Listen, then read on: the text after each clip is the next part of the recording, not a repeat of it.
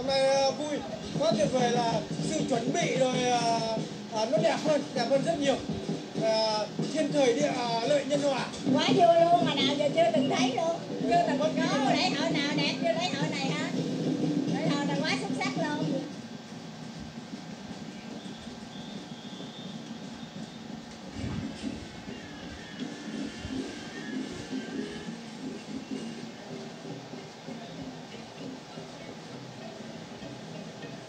mình tin tưởng thầy mẹ mà mình đi cho thầy mẹ ban hồng ân cho cầu cả nhân sanh tự thân dịch tới giờ là năm nay là đâu? Có đi hoài, năm nào cũng đi á nhiều lần lắm rồi mà không có xem được.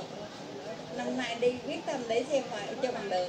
Cái này là mình thích là cái, một cái sự truyền thống, nó có nhân văn và có truyền cảm cho mọi con người là mỗi năm là mình trong lòng mình gạo ước những cái nơi phương xa nói chung là ai cũng về đây để dự cái hội lễ này hết.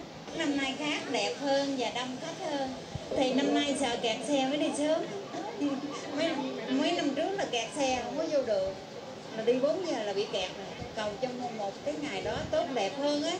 Để cho mình làm ăn rồi mỗi năm mỗi khác á về kiểu như là về công việc về về cái à, tài chính đồ cho nó Ờ, thay đổi với người dân mình làm ăn cho nó ổn định lại á, để nó không còn quan tâm lúc xưa.